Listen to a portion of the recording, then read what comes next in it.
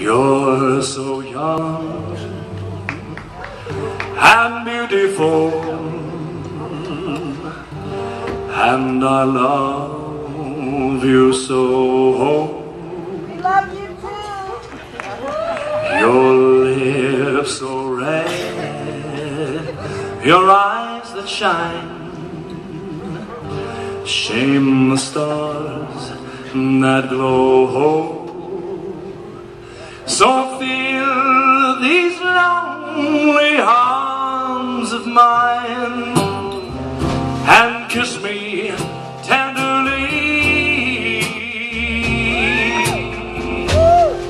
Then you'll be forever young and beautiful to me.